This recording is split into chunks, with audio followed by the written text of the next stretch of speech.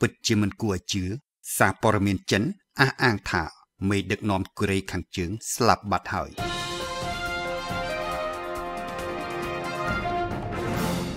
ពាក្យចចាមរាមជុំវិញសុខភាពរបស់លោកគីមចុងអ៊ុនកាន់តែមានសន្ទុះខ្លាំងឡើងនៅថ្ងៃនេះក្រោយពេលដែលប្រព័ន្ធផ្សព្វផ្សាយជាច្រើននៅអាស៊ីបានអះអាងថាលោកបានទទួលមរណភាពហើយយោងតាមនាយករងនៃទូរទស្សន៍ផ្កាយរណបរបស់ហុងកុង HKSTV អ្នកស្រីស៊ីនជៀនស៊ីនជូឲ្យដឹងថាប្រភពច្បាស់ការមួយបានប្រាប់អ្នកស្រីថាមេដឹកនាំកូរ៉េខាងជើងអាយុ36ឆ្នាំបានស្លាប់បាត់ទៅហើយស្ត្រីខាងលើមានអ្នក follow ជាង15លាននាក់នៅលើបណ្ដាញសង្គម Weibo ចិនហើយក៏ជាក្មួយស្រីម្នាក់របស់រដ្ឋមន្ត្រីក្រសួងការបរទេសផងដែរការអះអាងនេះត្រូវបានធ្វើឡើងក្រោយពេលដែលភ្នាក់ងារស៊ើបការអាមេរិកបង្ហើបថា មេដឹកនាំកូរ៉េខាងជើងលោកគីមចុងអ៊ុនកំពុងស្ថិតក្នុងគ្រោះថ្នាក់យ៉ាងធ្ងន់ធ្ងរបន្ទាប់ពីវះកាត់បេះដូងរួចថ្មីថ្មីនេះលោកគីមចុងអ៊ុនបានខកខានពិធីអបអរសាទរខួបកំណើតរបស់ជីតារបស់ខ្លួននៅថ្ងៃទី15ខែមេសាដែលបានធ្វើឲ្យមានការសង្ស័យអំពីស្ថានភាពសុខភាពរបស់មេដឹកនាំក្រុងភ្ជុងយ៉ាងរូបនេះ